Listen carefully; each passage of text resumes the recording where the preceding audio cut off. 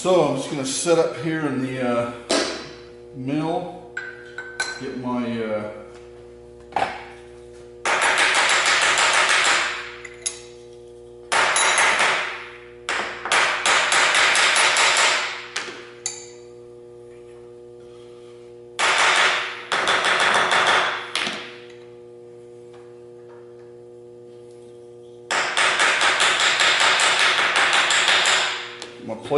set up here to where I can drill these on one inch centers.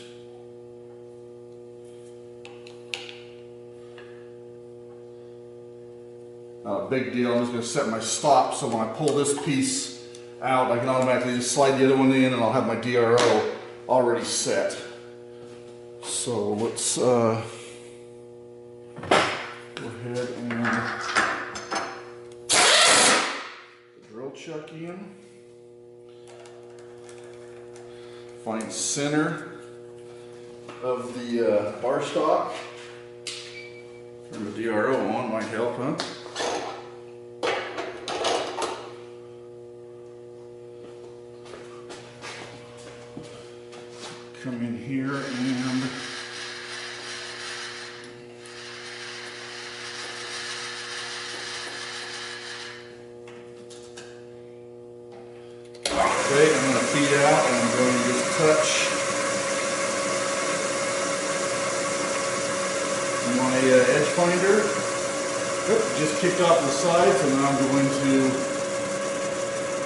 My Y.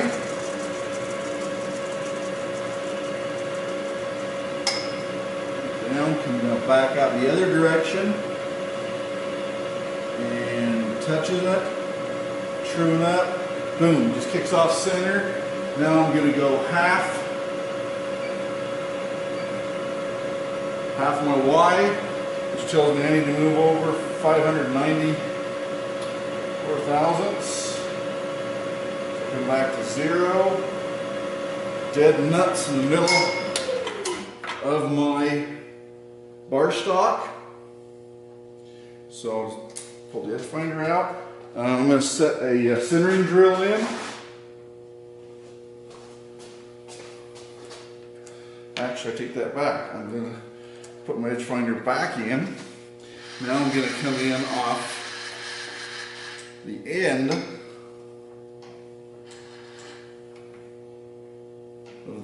stock.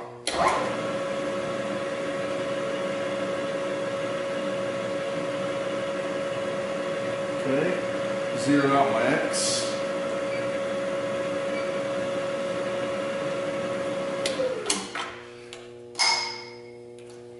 Now I'll pull my edge finder out, put my centering bit in.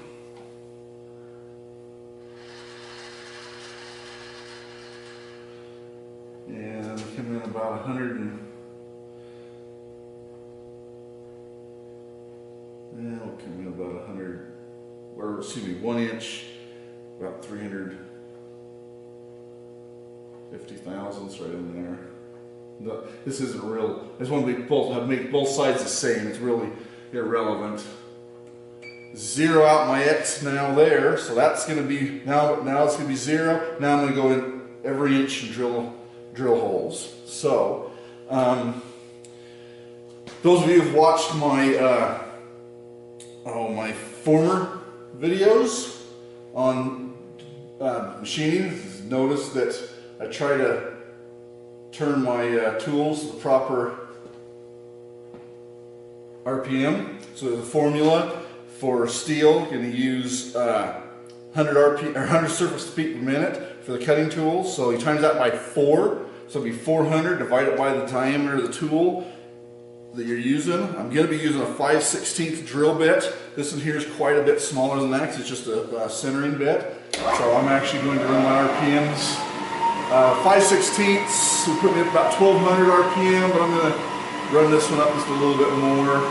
Like I said, seeing as how it's just a uh, um, little bit smaller, I'm going to use this as my uh, centering. So I'll come down and touch off.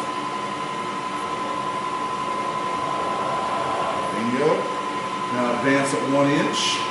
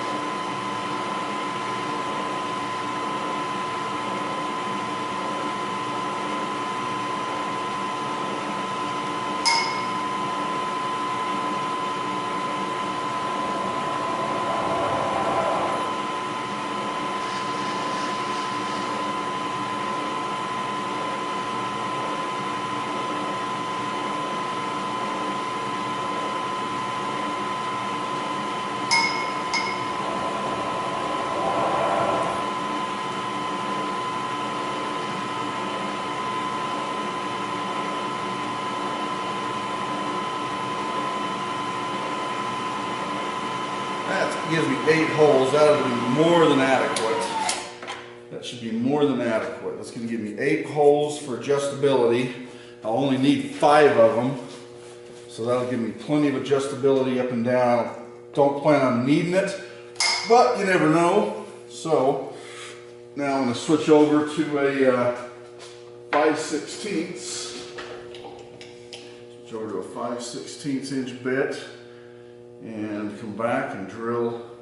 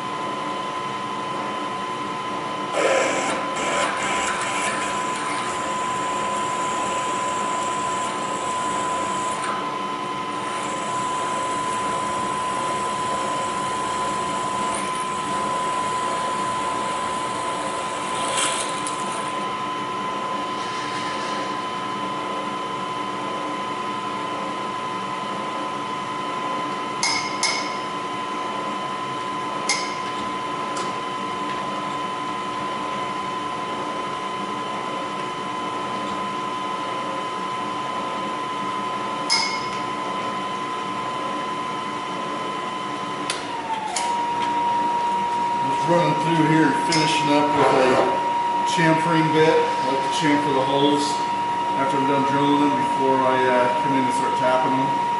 Makes for a cleaner looking hole and easier to start your tap as well. But mainly just keeps the, especially if you're going to be welded inside of something, that way you don't have a burr to contend with.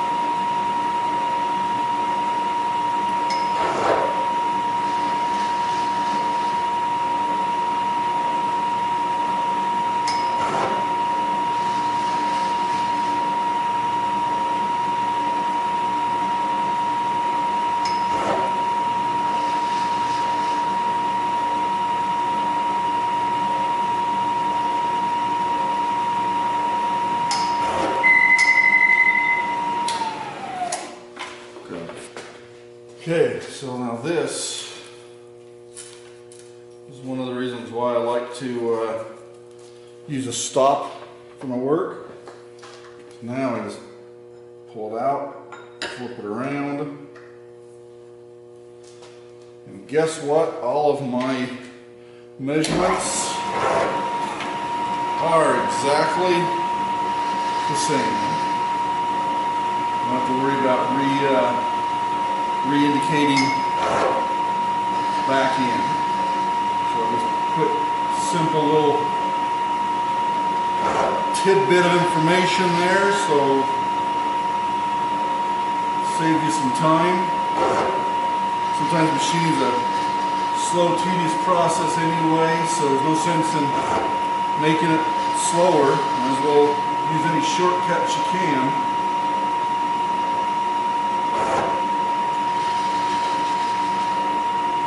And believe me, I'm not a machinist. I'm just a mechanic who can fumble his way through uh, machining and fabricating parts.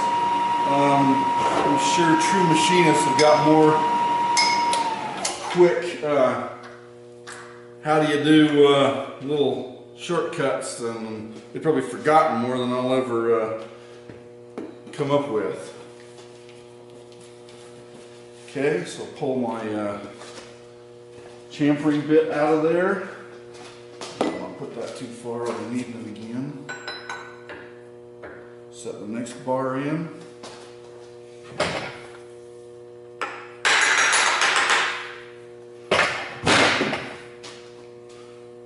Against the work there, okay. Grab the uh,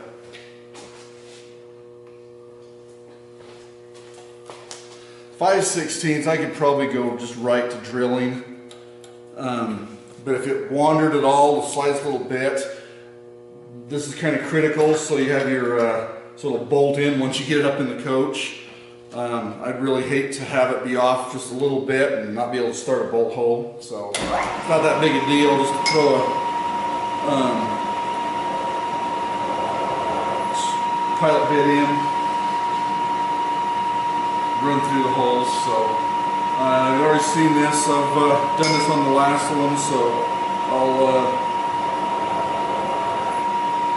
move on.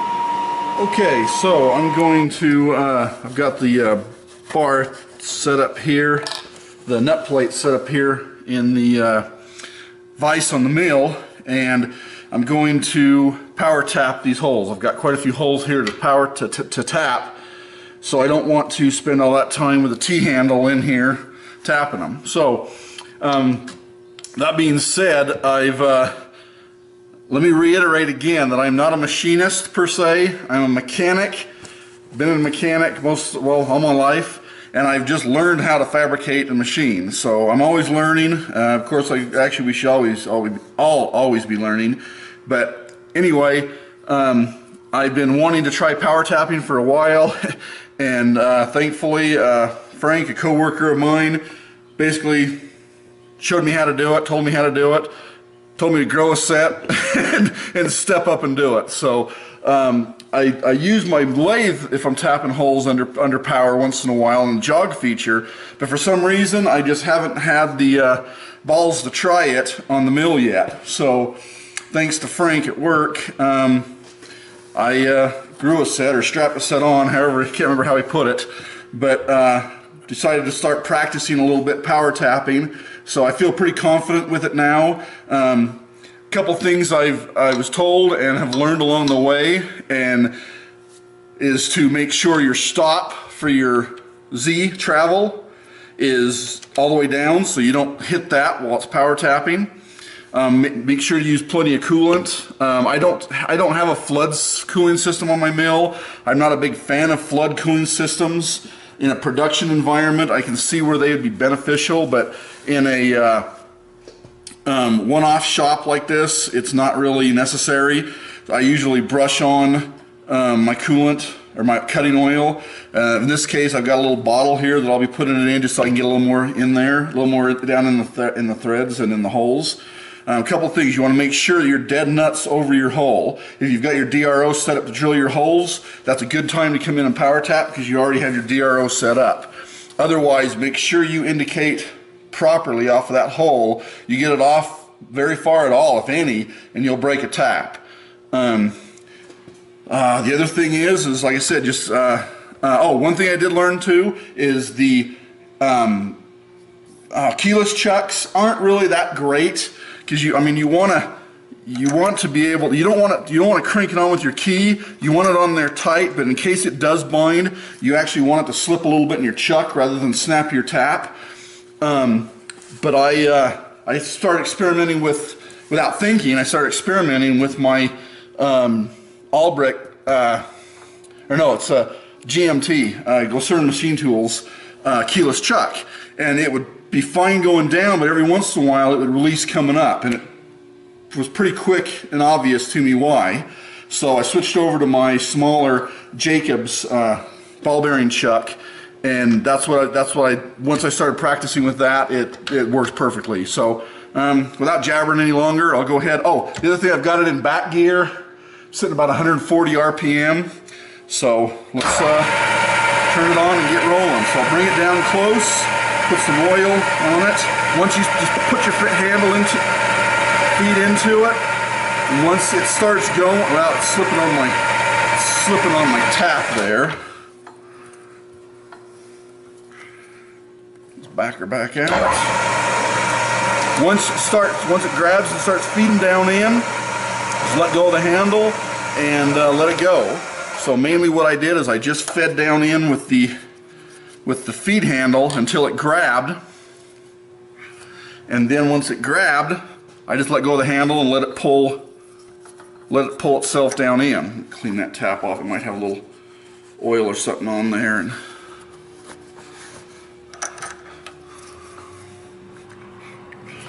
okay, so let's just advance it over another um, inch. Come down in, get close, turn it on, put a little oil, start feeding it. As soon as it starts feeding, let go of the handle. Once it goes through, shut it off, reverse it, and it's just like that. Power tapping is just that, just tapping under power. Um, big thanks to Frank for helping me get over my fear of that, I guess. And uh, glad I can add that to my arsenal of uh, skills now. So we'll uh, do another one here. I can see where I'm going to be using this a lot. Perfect.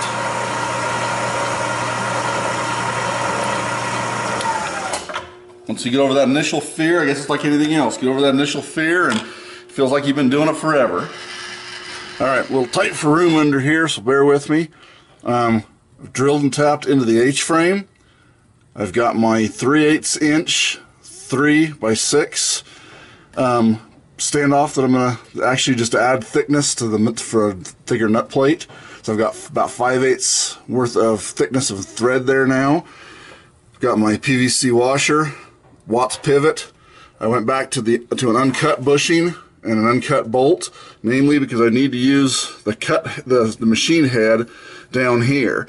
I'm still, even as tight as I've keeping I'm keeping this end of the H frame, I'm still almost hitting the generator when it is fully retracted. So I had to take, uh, I think I took 200 thousandths off the head of this bolt. I still need to do the same up here, and that's still going to net me maybe a, hundred thousandths, uh, eighth of an inch at the most, um, clearance between the head of this bolt and the gen set. So I contemplated building a standoff to come off here and bolt across, like sandwich this H-frame but that would have put me out too far and I would have been into the generator. So, and if I would have flipped the bolts around the backside, then there's that possibility of extreme travel, maybe hitting the, the rod end or the rod out here, or um, uh, the rods being at an angle going out to the rods to the rod, the rod ends at the other end. This way, they are going to be dead nuts parallel. Basically, the rods will sit right between the uh, the spacers, I'm using a one and a half inch and then a three inch, so I'll give me my four and a half inches out. And I'm actually going to drill and tap into the back side of this and put that nut plate that I machined in there. So this side will be down low, gives me some adjustability. And this side over here, I don't have the tubes in yet. I just got it uh, propped up for a mock-up. But this side over here, the bolt's going in this side. I'll put the nut plate up higher, so it'll give me a little bit of range of adjustability up here. So that's pretty much, I apologize for the shakiness under here. I'm just trying to hold the camera back behind my head. So I just need to uh, weld this piece and I don't like welding across um, a membrane especially like this so what I'll do is I'll actually probably put a stitch weld couple stitch welds and all it really is to do is just hold that spacer. It's really not structural. The threads are in here and into the H-frame so I'm just gonna put probably like I don't know one inch stitch weld on each end of the top and bottom and then paint this um, paint everything up grease it up really good.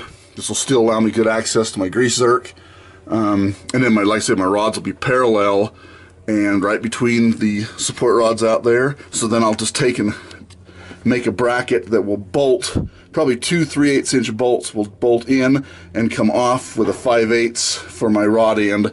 Um, just like just like this at this other end, and that'll give me my support out there. And then depending on how things look, I may take a piece and weld from this piece over to the other piece to give it that triangulation that um, Van and some of the other guys on theirs had used with the bolt-on piece that I was originally going to bolt on that put the Watts link on the actual coach rather than on a movable membrane. Basically all I did is I went back after rethinking this, I went back to a traditional Watts link rather than an inverted Watts link, and I put the, the pivot plate on the movable component versus the inverted, where some of the other guys on the RR8R chassis are putting the pivot plate on the stationary component of the coach and the rod ends out to the H-frame. So I just went basically back to traditional. So the, the, I really didn't have a lot of choice on this coach. Um, the generator comes back so close that there was just there was just no uh, no room in there. So I think this is my best option. And then I still I'm going to take and weld a stud up into here and then the same on the other side to hold my wiring up out of the way just with some frame clamps. So that way the wiring will droop alongside the side of the generator as the generator retracts back the wires the wires will just droop down alongside rather than come along here behind and get into the mechanical components uh, here of the Watts link. So hope that makes sense. I will uh, get the welder out and start welding my vertical pieces in now that I got all the, the undercoating and the paint knocked back. So time to fire up the welder. So phase one of the welding completed. I've got the one and a half inch spacers welded in. Welds are uh, adequate. They're not my best just because they're out of position. But it will definitely hold. There's the one side. Here's the other side.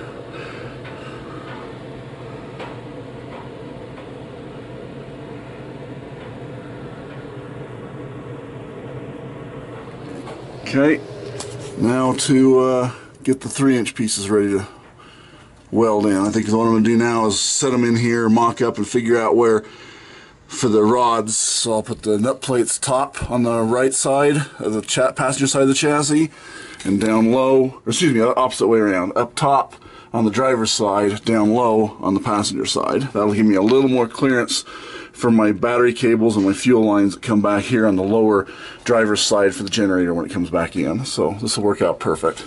All right, so we're on the home stretch here. Um, these are the two three inch verticals. So this is the uh, bottom of both of them. You see where I've notched for the my welds. This nut plate is the lower side, so this will be the dry, excuse me, the passenger side.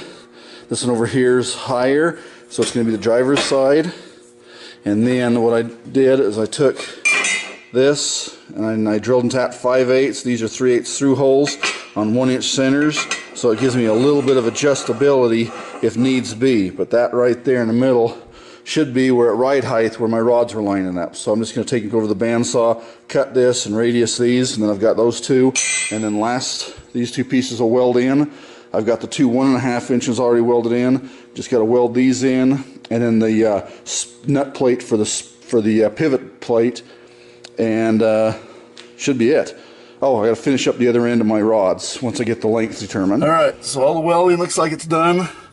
I've got my four and a half inches spaced out. I've got my plate welded on, my nut plate welded on. Whoop. For the H-frame, and then the other driver's side vertical piece. So, whoops, forgot to weld. Got to weld that right there real quick. Um, anyway, and then I'm ready to paint it and uh, bolt it up and be done with it. I'm ready for a test drive after. So here the pivot plate is bolted on, final time, greased. See the grease is coming out around the bushing a little bit. And stud I welded on with a frame clamp holding the AC side for the generator alongside. And back up in here pull it up tight. Um, all extended. And then around this side was the DC positive negative and the fuel lines. Frame clamp pulled it up along there. That should allow it to droop down as the generator's coming in and not occupy the space back behind the between the H-frame and the generator like before so it's very, still very tight in here, but uh, doable. Um, I had to shave about 150 thousandths off of each of the bolts, bolt heads for the uh, rod ends, top and bottom here. And then I've got the brackets made and cut and drilled and tapped for out here. I'll bolt them on now, get my lengths for my rods, and finish those up. All right, there's my outside brackets bolted on. View of the pivot from the back side. And uh, there's the other one up top on the driver's side. And down low on the passenger side. This is from the axle of the coach looking forward. There's the generator. Okay, got my rods, uh, got the other end cut and uh, TIG welded so, see if that focuses in. So, I'm going to get these painted and bolt this puppy together and stick a fork in it, it's done. Okay, there's the links painted, adjusted uh, 15 and uh, about 15 and 3 sixteenths of an inch. All the bolts anti-seized and ready to bolt in for the final time. All right, Watts link completed. There's my end brackets the bolt 5 8 bolts going through that direction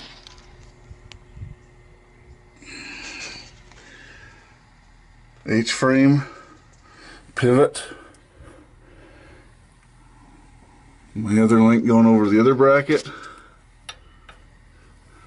I had to shave about 150 thousandths off of the heads of each of those bolts and I'm still barely clearing my generator so this was a tight fit. But she's all painted. Uh, I'm ready to cycle the generator in and out a couple times, make 100% certain I'm uh, clearing everything and button her up. All right, so I, uh, appreciate everybody following along during the Watts installation on my my 2003 Monaco Dynasty on the Roadmaster chassis. Um, the installation was a success. Uh, last night I lost, was losing light outside and it looked like there was a storm rolling in, the wind was starting to blow over me, so I was trying to hurry and get things completed. And I didn't get a chance to uh, finish it up last night, so um, I got a bunch of, getting to clean up the mill and the lathe and the welding table and everything today, so I thought I'd just do a final, final uh, clip for the, for the video. I'm probably going to have to break this up into um, three, maybe even four parts because it is quite long. So I hope you find it informative. Um, I had, like I said, if, if you follow along from the, from the first of the video when I started, I completely changed my um, direction on how I was attaching and how I was fabricating the Watts link. Um, I mentioned on one of the forums that I was doing this on the fly and that is obvious because it's completely reversed from the way I originally was going to attempt this um, based on uh, Van, uh, Craig, um, my couple of the other guys that have done it on their RR8R chassis, they used an inverted or reversed Watts link where the Watts pivot mounts to the stationary component of the coach and then the, the links attach on the outboard side to the movable portion, which is the H-frame. Um, due to space limitations, I just flat wasn't able to do that. That, was my original intent and um, it just it, it wasn't feasible. So after laying there staring at it for a couple hours the other night and trying to go over things in my head, it come to me that if I just go to the traditional Watts installation where the pivot plate goes on the movable component, in this case it'd be the H-frame, and the rod, the outer rod links would mount to the stationary component. Uh, on, a, on, a, on a car, it's generally the frame on this, I had to run some vertical supports down from the frame and tie, basically triangulated the generator uh, uh, structure. It, it, was already welded to the frame. I just beefed it up and moved it back to get my clearance. But the rods run perfectly parallel to the front of the H-frame, so there's no, the rods don't kick forward or aft anywhere in there, so they're perfectly parallel. So they shouldn't exert any um, pressures on anything other than directly opposing 90 degrees opposing to the pivot point on the on the Watts link. So the Watts link, as you see in the video, is mounted to the H-frame, and then I, the vertical pieces, I have one nut plate uh, that's made the brackets low and the other one high. Those rods are parallel top uh, in elevation and um, longitudinally across or, or latitudinally across it. So everything's perfectly square with the generator all the way back in. I'm clearing by a good 125 thousandths of an inch, so I don't foresee anything there. I've run it through its complete range of travel. Um, airbags fully inflated, ride height, airbags fully deflated uh, to simulate being in a campground. Um, the range of travel that I would be in, um, at the uh, ride height, everything clears the, the links, everything's moving the way they're supposed to. So um, I haven't road tested it yet. Like I said, last night it was getting dark and the storm was rolling in. So I hope to maybe be able to get out the next night or two after work maybe and take it for a spin. And then the wife and I need to load it up and get out of town for a weekend and really put it to its test and see how it's going to perform, see if I can correct some of the um, original areas I would like to improve upon the coach. One, the, the biggest one being in those long constant radius curves. Um, as the, the, the weight of the coach, the centrifugal force, everything on those curves, I think that's where that flex in those joints and the panhard bar and the airbags and everything's coming into play because on a long sweeping constant radius curve, you should be able to set your steering wheel and be able to follow through. And I'm finding myself by the time I re reach around the apex of those curves, I'm actually having to give it just a little bit more input on the wheel to, to get around the rest of the way around that curve. And I, I just, it's not a big deal. Like I said, the coach really handles well. So if I could just correct that little anomaly, I would be ecstatic. I'd be tickled shitless with the whole project because it was a big, it is a big major modification. So it was, uh, took me a couple of nights worth of machining in the shop beforehand and then a good eight, nine hour day yesterday, um, fitting, fine, fine, fine fitting and tuning and welding and getting everything bolted up uh, underneath the coach. So, um, I, like I said, I hope you find it informative and uh, yeah, I appreciate any comments. Uh, thanks for watching. Um, now I need to get busy and clean up my shop and get ready for the next project, whatever that will be. Thank you.